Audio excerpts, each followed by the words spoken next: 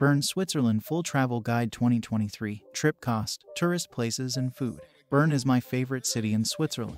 It's situated in the middle of the country, and it's small with cobblestone streets and medieval buildings. The Swiss capital is also set along a picturesque river close to the mountains. You can wander the city for days and feel like you're transported back in time to the 1600. Although, thankfully, you won't have to worry about the same unsanitary conditions. Best timing to visit April to September. How many days are required to visit? 2 to 3 days. Famous food Berner Platte. Top tourist attractions Zentrum Paul Klee, Bern Historical Museum, Gurten, Einstein House, Bear Pit, Federal Palace, Rosengarten, Bernminster, Zytglogge, Altstadt. Trip cost $100 to 195 per person per day. Accommodation $42 to 90 Food $28 to $50. Transportation $16 to 26. Nearest airport Bern Airport.